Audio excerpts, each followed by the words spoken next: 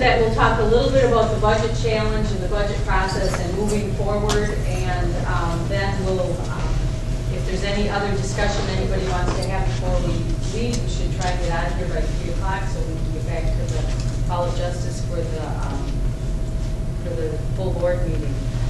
I don't think we need to go around the room and introduce ourselves, we all know each other, and we, and John, we've worked with John enough, so um, I don't want to take up time to do that, but I will turn it over to John right now, and feel free to ask any questions during the presentation. Thanks.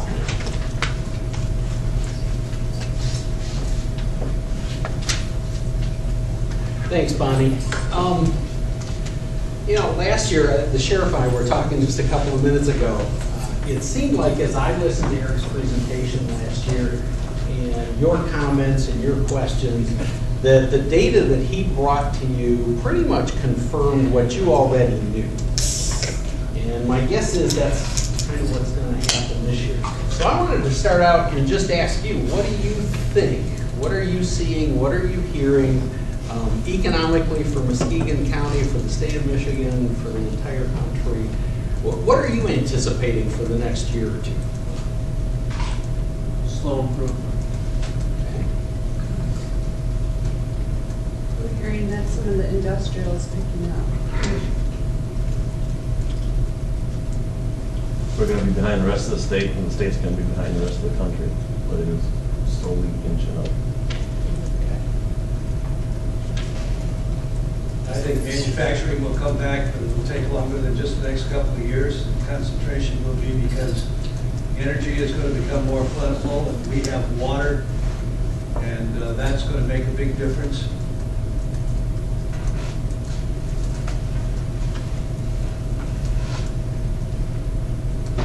Any others?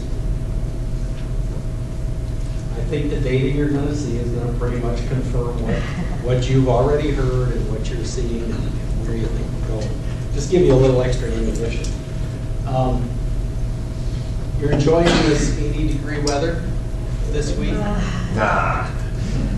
I, it- it's funny, I have found myself in the last few days lulled into this really strange sense that winter's over, summer's here, and, and it, it's July, and it's gonna stay that way. And then after, after I think about it, I'm like, I kind of stop myself and go, wait a minute, wait a minute, get real. We all know there's more March, there's lots of April, we're gonna get some cool weather again. And then I got to thinking about that in economic terms. In the, you know, we all, well, most of us lived through the auto recession of the early 80s. And then things got roaring in the 90s, and it was really good. And I, did you find in the 90s that you got lulled into that same kind of a sense of, boy, this is really good and it's just going to keep going, kind of like we have been with the weather the last few days? Some, some shaking their heads no, didn't, didn't let ourselves get sucked into it. Um, Yeah, and that's where we are. We're in that, in that downturn and starting to inch our way back up. Um, I'm just going to start out with, at, at the national level, then we'll come down to the state level, talk a little bit about some uh, budget projections and, uh, and then some things that relate directly to counties that Eric is seeing in the, in the governor's proposal. Um, Stronger job growth the last couple of months. Um, Gross domestic product was up in the fourth quarter. Um, Disposable income up a little bit, a little bit of growth in consumer spending. And motor vehicle output, that's an interesting one to me. I, I'm not sure I expected to see that quite so quickly. Any car buffs in here? Anybody that reads like car and driver, or motor trend? I'm the, almost the only one. Um, It's been surprising to me the last few months, the level of optimism in that industry. Um, People are getting excited about selling some cars and they're getting excited about product. And so I think we're seeing that, that critical industry in Michigan picking up maybe a little quicker than, than a lot of us thought. The personal savings rate, um, you know, Eric's comment there that remains high at four and a half percent. It seems like I remember from too many years ago, um, some discussion in some economics classes about for a society as a whole, if you could maintain about a four or five percent savings rate on a regular basis, that was a pretty good place to be. And the interesting observation with this particular rate currently is that when we're in a period of poor economy and trying to work our way back out of it, while that's a healthy thing, it's kind of a two-edged sword. Um, Our manufacturing industries, our, our economy in general would like to see us spending a little more of that money to increase the job growth as opposed to uh, the savings. So kind of a mixed bag on, on what otherwise we would think of as a pretty good thing.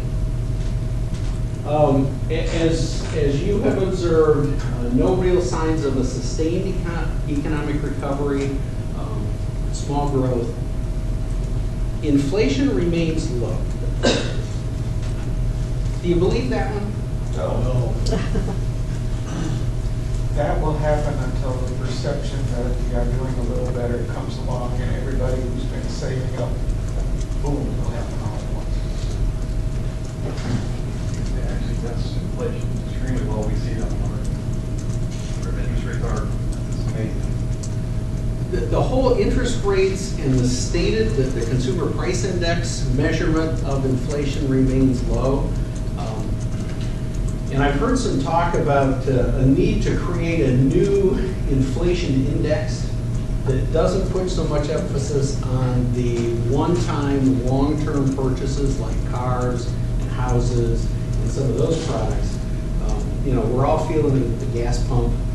Um, If you do some of the grocery shopping in your family, you're seeing it in in some of those products. And so there's, while the official inflation rate is pretty low, um, what some people would call the real inflation rate of the products that we buy on kind of a weekly basis um, would be a little bit higher. So we're starting to get that pressure that, um, that may very well, uh, over the next few years, lead us into some higher level of inflation. Um, Home market's still fairly weak. Fiscal policy, I had to look up contractionary. I hadn't used that word in in a long time. Um, Really aimed more at, um, at, shrinking government, at, um, not growing the economy quite so fast, trying to keep inflation in check is, is what the, the point of that is. Um, And, and the expectation, the growth will be fairly moderate with some small um, reductions in unemployment. I brought this slide back from last year. Um, That's the annual job losses in Michigan for the last 10 years. And just kind of soak those numbers in for a minute as you go down through each year. Um, The total 890,000, or about 20% in the state of Michigan over that decade. And I threw that one back in there just to provide a little perspective to this next number. 65,000 job growth in 2011. That's about 7% of those jobs back. Not a big amount, but it, it seems to indicate that we've bottomed out and, and beginning to see some growth. Um, Eric's observation of where that growth has happened, I thought was pretty interesting. Um, Tends to be in high-wage industries like manufacturing, and the low education industries have outpaced the high education industries. Kind of the opposite of what you know, everybody said. The growth, and maybe this is true nationally, but the growth is going to be in those high education jobs. We need to educate, educate, educate, educate.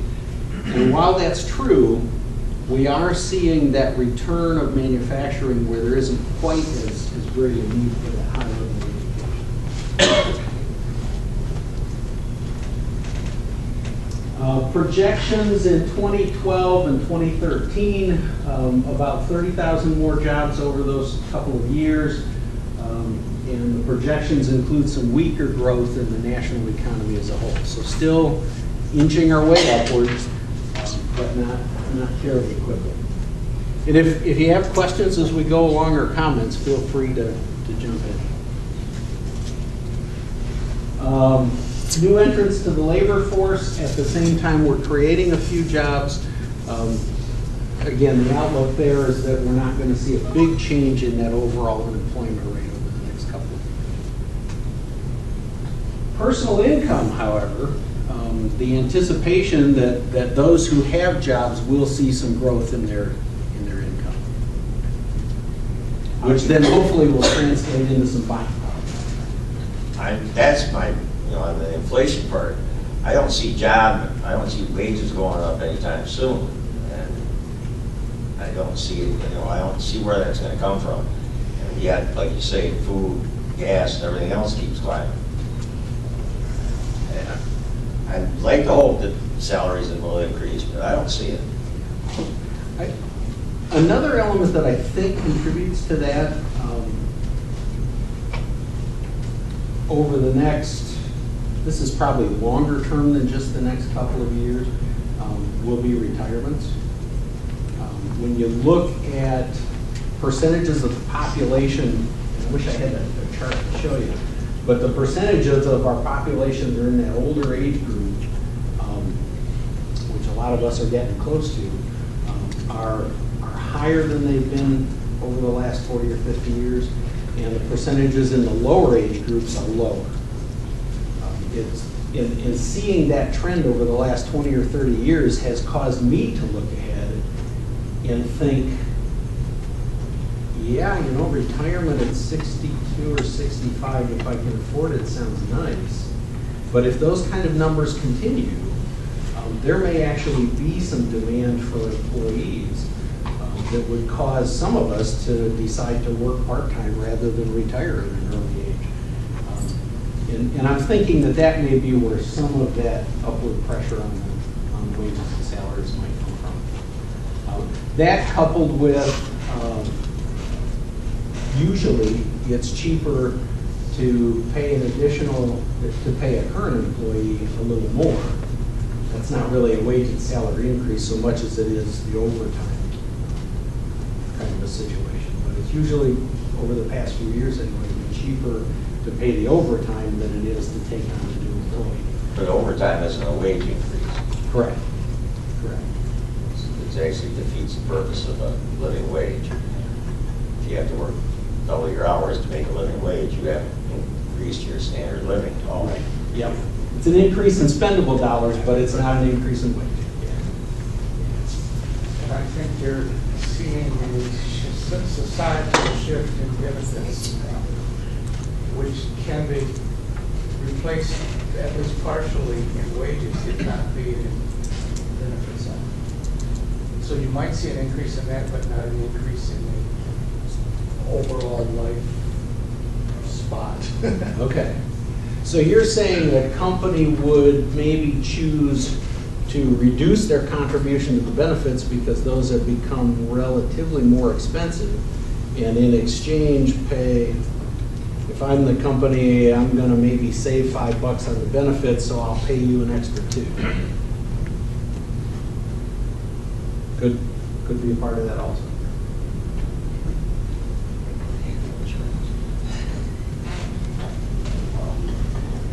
Um, State budget, uh, general fund and school aid fund revenues are currently up slightly from last year. Um, And as of February, uh, revenues are tracking pretty close to the consensus forecast. I know I've seen a little in the news, they're up, they're down, uh, but overall, uh, staying fairly close. Income tax refunds uh, have been a bit higher than was expected, and sales tax collections much higher than expected, and largely due to motor vehicles. Um, And that's been, you know, that's a pretty typical thing when it comes to recessions. Um, We postpone those larger purchases, and we start getting to the point where that car is just getting to be in a condition where it's time to replace it. Um, Auto sales tend to pick up fairly well. Um, The budget proposal so far for fiscal year 13 at the state level, uh, beginning balance is just a little over half a billion. Uh, Revenues anticipated at just over nine. Uh, Some savings on revenue sharing that none of us like to see in there. And uh, looks like a total of about $9.2 billion for the general fund for 13. The executive budget proposal um, eight point six, with another about four hundred million in some one-time expenditures. And Eric said that was largely transfers from general fund to school aid fund. And uh, that would come up with spending of about nine point one billion in the general fund next year. And just for a little perspective, uh, the state general fund budget 2000, 2001 was in this same neighborhood, a little higher. And I remember doing a projection a couple of years ago. If you had taken that 2000 general fund budget figure and increased it according to inflation up through 2009, 2010, we'd be up in the $13 billion range on the state general fund. So we really have made some reductions in general fund spending at the state level. Same kind of projections looking ahead to 14, uh, beginning balance uh, smaller. Uh, Revenues projected again at about 9.2, uh, with the total expenditures then a little below nine. Uh, Executive budget expected to be about in that same neighborhood. The one-time shifts are smaller, so we're uh, about $8.9 billion projected for 14. Which I think says to us, um, don't expect that we're going to see a whole lot more money uh, coming through to pay for courts and uh, jail reimbursement and revenue sharing and and some of those kinds of things that we on. Some changes in the structure of the budget at the state level, kind of shuffling the groupings of departments, I think, for, uh, just in the way they look at it. I'll just let you read through those.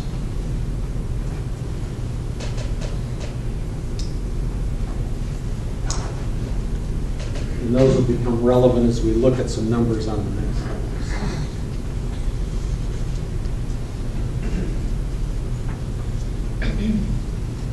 So the budget changes for 13, uh, total state spending from state resources increased, I think that percentage earlier, about 1.3%. Where is that going? Education up almost 10%, uh, with a lot of that being a general fund transfer to K-12. Debt service is up almost 8%. Health and Human Services, the proposal is down 4. Uh, Resource protection up 11, and public safety up about 3.5. And again, that's the, that's the executive proposal for the budget for 13. We've still got the legislative process to work through. Historically, that would get finished in about August or September. Um, If you're looking back two or three years, uh, maybe by the middle of October. And if last year proves to be the new benchmark, um, by the time school is out, that process will be finished. I guess that one remains to be seen. I haven't, I- any of you have a legislative crystal ball? Heard anything about how that process is going to go this year? Mickey Knight is indicating it's on schedule to finish in June. Early June will be the conference date. They're gonna, they're gonna keep up with last year and get it done and move on to other things. Like an election. in the fall. Uh, for fourteen, spending down just a little from thirteen. Um, Education down, but that reflects the no general fund support to K-12. The school aid fund will stand on its own according to this projection. Uh, General government down just a bit, health and ser- human services up a little, resource protection down, and public safety and defense up just a little bit. You know, the one change on there that really, two that really are striking, one is that general fund to K-12 um, increasing education this year and then dropping that the following year.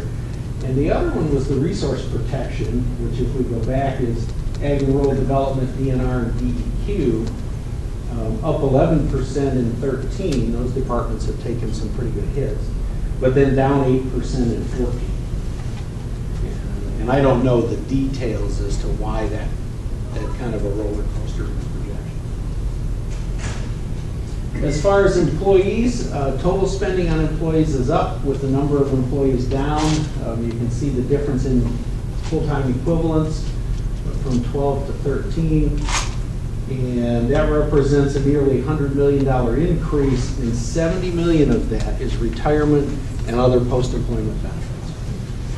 Those costs just continue to Revenue sharing, the constitutional revenue sharing, of course, is formula-driven. Uh, Projection for 13 is just about 700 million, and that's up from fiscal year 12. The Economic Vitality Incentive Program, which I think Bonnie is going to talk about um, in a little while, um, that's the one that was aimed at cities, villages, and townships last year. Uh, No change projected in that one. The county incentive program is a similar program that's been proposed now for 13 for counties. Uh, And the projection there is uh, an increase of about 10 billion from spending in fiscal year 12. Um, And again, these are, this is the information at this point on this proposal, um, which is yet to get through the budget process, and we'll see just how that shakes out.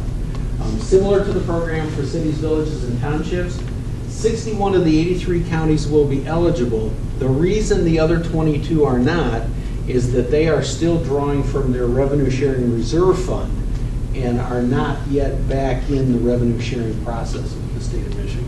Uh, Where is Muskegon County in that? So, We um, exhausted our uh, reserve in 2010. Okay, so you're, you're back on the board. Um, The plan aims to provide some accountability and transparency with a citizen's guide, a performance dashboard, and a three-year budget. Um, Some consolidation of services, proposal aims to expand or extend cooperation. And as I talked with Eric on that, his understanding is that it really is aimed at expanding as opposed to rewarding what you're, what you're already doing.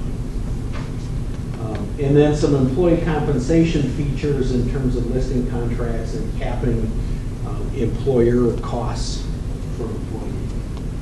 And Some of the details there, uh, the first bullet point has to do with retirement contributions. Um, The program aims to, uh, to cap that for new hires at a 10% employer contribution which to me then also implies a defined contribution plan as opposed to a defined benefit. Um, Maximums on the pension multiplier, uh, some final average compensation figures, uh, caps and and standards there. And then the healthcare premium for new hires, uh, contribution minimum of 20% for employees or an employer benefit that's competitive. There's apparently some provision in there, if you've got a plan worked out that's, uh, that's already very competitively priced, and you're able to accomplish it without requiring that high of a contribution, then, then apparently it would be accepted.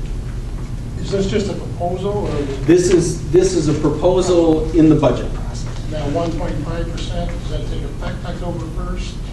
It's, I'm, ha- I have Heath handing out a document that's a fact sheet on the whole program. Okay. And then the second sheet is the employee compensation.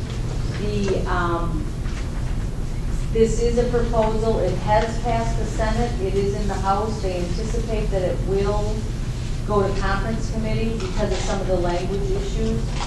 The, um, what was the question, Tom, about the one point five? One point five percent, does that take effect for starting Oh, October there- first, or is it retroactive for somebody that's been here thirty-seven years, for instance?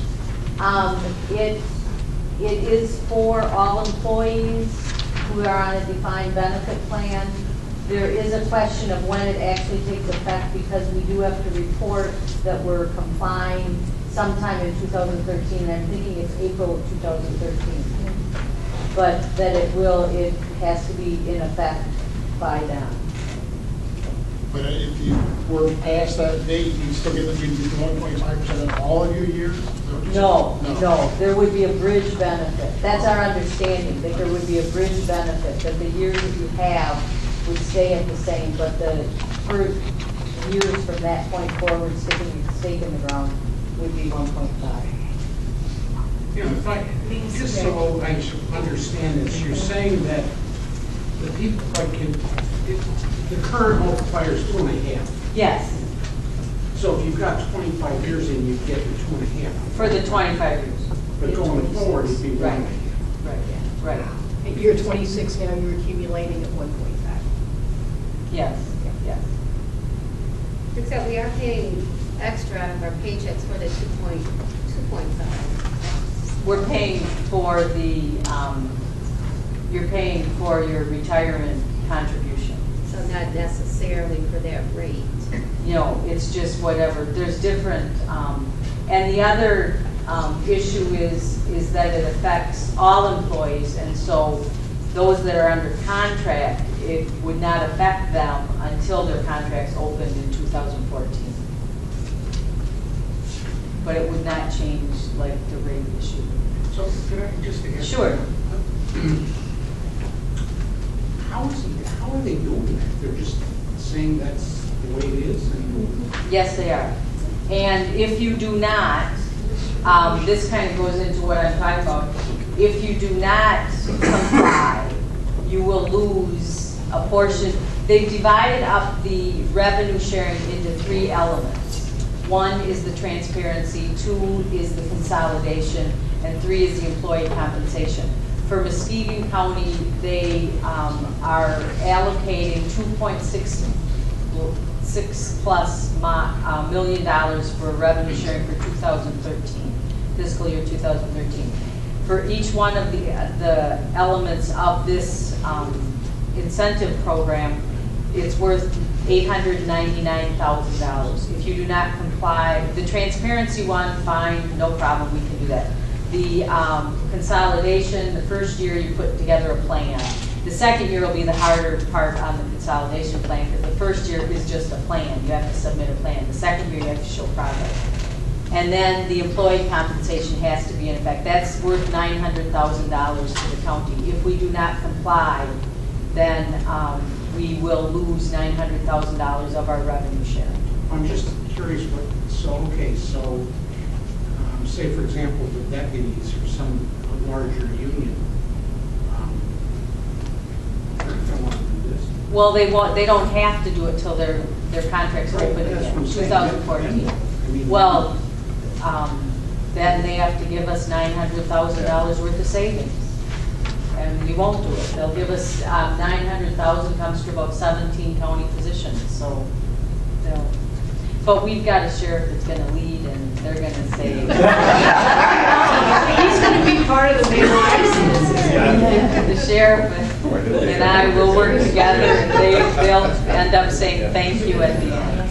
You've already got me reelected, thanks. And that, the 240 hours of paid leave if used in the calculation of your final average compensation would again be if you retire after that April 1st date. Yes. And we don't know that, we don't know, we're not clear what the date is, but the, the way it reads is an April first date. The, currently, you can use four hundred and eighty hours towards your calculation. So it's like, well, Yeah. No, it's only four eighty. And, um, so they cut that in half. They cut that in half. Yes. Larry, what about employees that are already fully vested or It's all employees. I understand that, but if you have some that have only thirty-five years, that will those employees who have, they go back to one point five. Yes, yes.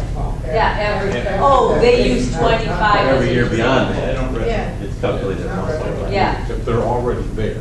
They're, they're at two point five now. Everybody's at two point five, whether you're five years, ten years, twenty-five years.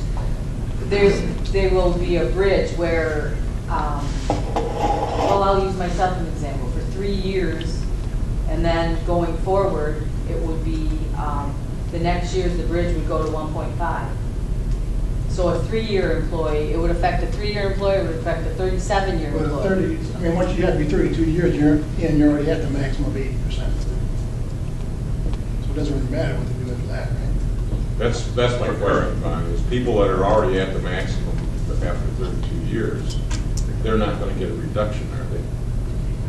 What are you at, the maximum doesn't make this. It's, all employees must be at one point five multiplier. It doesn't exempt, it doesn't talk about anything about the number of years. It's, I know, but the one it point, I says, thought you said the one point five percent doesn't take effect until April first. I don't know, we don't You know don't know. that. We don't know when it has to take effect. asking the right- We will know that in June because they will pass the budget. And because there are, there's, there's conversations going on. In the House, they've had more conversations on this than in the Senate. It passed through the Senate without any changes. What committee, do you know what committee this is going to or anything? In the- I do, but I, I back in my office. Okay. So I did, pro- I did provide you a sheet that kind of outlined it. It's a sheet that kind of administrators are using. It's a, yes. Is that bridge language? I didn't see any in the proposal. Where is that? coming from? The bridge language, that's kind of coming from MERS, as to what, how they would address it. Yeah, it's not, they, the- it's not, that's us talking with MERS and how would we do this? And they use a term that we would have a bridge benefit. Oh yeah. But the FAC would affect everyone. The Three, three Yeah. final year FAC. Yeah, yeah. I don't think you Regard- know the final details until it gets passed. No, and it's gonna be in the conference committee. And we probably will know by June, because that's their, their plan. Did someone have their hand up? Did someone else have a question? Yeah, the, the language, folks, is in dispute right now, because you can interpret it 50 different ways. We even contacted Ottawa County, like, you know, this is how we're interpreting it, and they're pretty much agreeing with us. It's just loosely worded, I think, intentionally. Yeah, and it's loosely worded, much like, um, much like the, the Public Act for the, um, health insurance one was as well. That was very loosely worded, and was passed like that. Um, the other, the, the last part of it was the ten percent. We haven't figured out what the ten percent remaining, they say if you do not comply, they will, um, take ten percent of your remaining dollars, but the three elements add up to the, all the money, so, um, we, we, I, Keith contacted Ottawa County for me to see if they had a clue as to what the remaining meant, and, um, we don't know what that means either. So we'll, as we get that information, we'll keep you informed. Okay to share this with staff? Oh, definitely, because, yeah. 'Cause I've got a staff meeting Yeah, tomorrow, it's and I know out it's there, gonna and come it's out. been, it's been out there since the governor released his executive budget. If, if I could just say one other thing, you know, in the beginning, the governor was talking about, many people were talking about structural changes in the system. This is a stru, this is one you can actually point at and say, this is a structural change.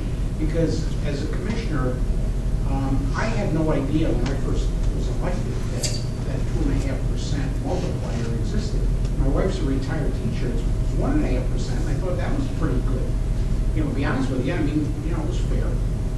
Um, then this two and a half percent thing, and, well, maybe that's just the way it is. And, but when people are retiring after many years and actually making more than they made when they worked, not on that, but they get social security, and then most people, you know, do something for themselves. And it's just something wrong with it. I mean, it's like, we can't afford it. I, I could see that ten years ago, but it's just the way it was. I thought, well, I guess it works. But it doesn't work. It doesn't work anymore. We can't afford it. Demographics have shifted so quickly. So here's some real structural change that you can point to and say, that's what they're talking about. Well, yeah. Um, The devil's in the details here. Right, and that's something that we need to be clear when we talk to staff too, because we don't want Change to people legislative exiting change and to the new retiring administration and will come getting in out. into it. I mean, we won't know until June. Drafted it on. As you Sorry, I won't No. process it. I Somebody else- mean, we won't know, so you're free to share this with your employees, but I don't want you to cause panic to your employees. So, um, I've interrupted your That's quite all right. You And with the healthcare premium, actually, I was a little concerned about the healthcare premium part of that because we did not do the twenty percent, but our package was actually equal to the 80-20, And we got the con, we got the consensus from the employees that we would have got, we actually got more than we would have got had we done 80-20. I like that language, that, I haven't, that's the first I've seen that language. Because we were gonna go with, that we were at the hard cap, because we're actually above the, yeah, and we do have a better package than what that was. And that may very well just be Eric's way of describing it. well, we'll go with that. Yeah, I like, I his description. Thank you, thank you very much, Bonnie, because you were able to enlighten a lot more on those details than I would. I want to get back to category two on your consolidation of services. Is the state going to make it easier for us to consolidate services? I can answer. I mean, right now, the way it's said, I mean, if somebody doesn't want to, or we're stuck. I think It's that not like they go out and say, look, we're going to consolidate. I actually think that there is some legislation that is on, is out there that they're talking about changing some language to allow that. But that isn't something that they're um, talking about. They're just asking for a plan right now. So you're right. But how do you create a plan if you don't have the legislation to back it? Well, the le, I mean, the legislation is in regards to unions and other issues that stand in the way, but, um, that people believe stand in the way. As I read that language, I don't believe that it completely stands in the way. I think the unions stand in the way. I think it's the, I, the the municipalities themselves have their own rights, and they, they aren't gonna, they don't have to give them up, they aren't. And as I read the language, I saw it as um, the pay issue, there's a pay issue thing that, you know, and there's a concern of not saving if the consolidation doesn't create savings. And so from my perspective, consolidation isn't always for savings. Eventually, there will be savings. But yeah, they- Yeah, it I doesn't I happen can't overnight. answer for the state. I, I was just curious, Right, because that right, was, Right, Does does the consolidation include between counties? any. Any. And that, you know, um, that's what we'll talk about when the presentation is done, is more about some of those things. It could be internal too, right? Absolutely. It Public, has to be private. a decision and a, and a- a bill handling compensation, monetary Right. compensation to those involved in the monetary. It's the same as they're doing with, with the wages now. They're saying if you don't do it, it's gonna cost you X dollars. Yeah, Okay, that's the absolutely. kind of thing that has to be done, so that each individual unit has the right to choose, but they know that it is a choice between not just where you are, and something different, it's a choice between two something different, so- and then, then it would be more like that. But Until then, no, there's nothing. yeah, but if they don't agree to participate, then it hurts the other one, because they can't participate. Well, you can always offer them more money. I think they're just looking for plans at this point. Well, They're for, plans. for the counties, for the counties, it is just a plan. For the cities, villages, and townships, this is their second year, and so now they have to submit progress on their plan. For our second year, we'll have to show progress, but I think that there's a lot of opportunities. I don't see a lot of obstacles in our way um, if we all put our heads together and come up with a plan. I mean, it has to be a realistic plan, but we also need to work towards having a even better plan the following year with the progress that we're making. But, um, yeah, so we'll. Well, you can also identify barriers to implementing your Right, plan, right? right. And that's an option, and so that's always Yeah. kind of popped out, is, Yeah. you know, you can throw somebody else under the bus, they didn't cooperate with us. In a nice way, in a nice Yeah. I had about three thoughts while you were talking.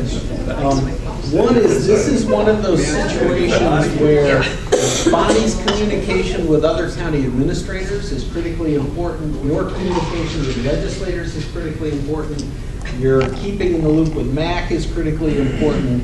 This stuff that's in the mill, um, mean, it's a, it's a messy process, and some of it may be pretty much preordained with one party controlling the process.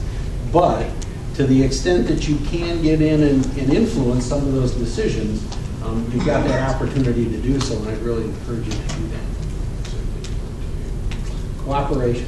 Um, Some lessons that are pretty clear from the research.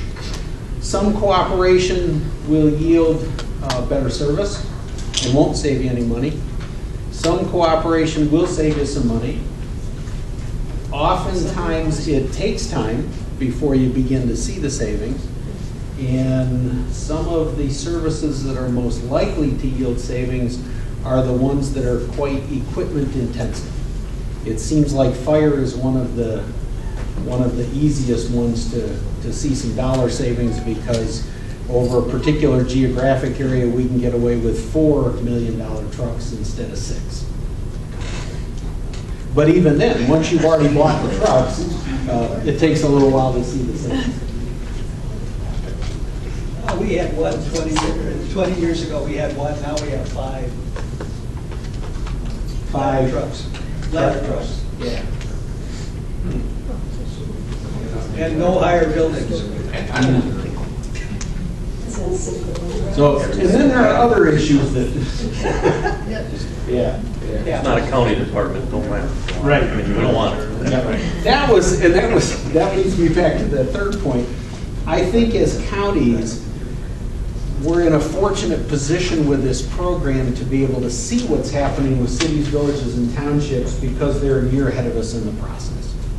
We may not like what we're seeing, but uh, i- i- it's not quite such a new thing as, as we go through it, assuming that it winds up being pretty much identical, which, no, I'm not even gonna go there. Yes.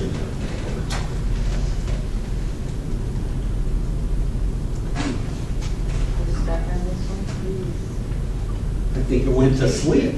Get off. First time I've used it. Um, This is the, the the publicly funded healthcare contribution act we talked about. This is the one that already was enacted um, with the ten percent penalty. There we go. Turn it off and back on, that wakes up. Um, Yeah, this is just more detail on, and I think Bonnie pretty well covered where you're at on this in terms of the, the hard cap. Uh, There is the option, two-thirds vote to, to opt out.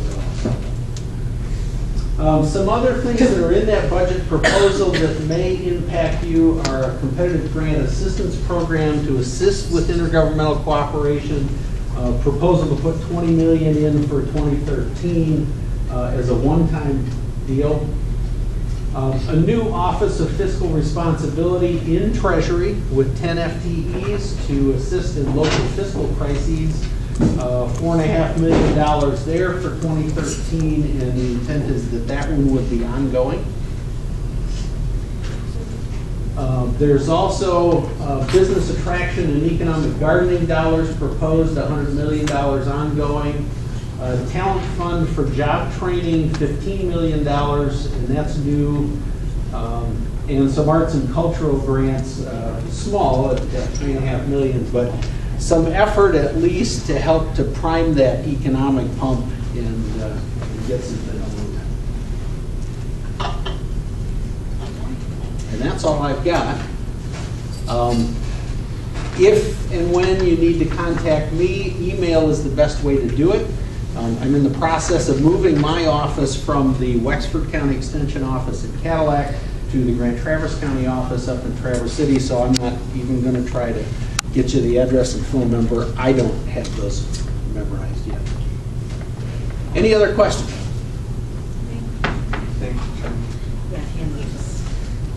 I'll turn it back over to Bonnie then. Thank you, John. Um, I just thought we'd spend some time talking about the um, fiscal year 2000.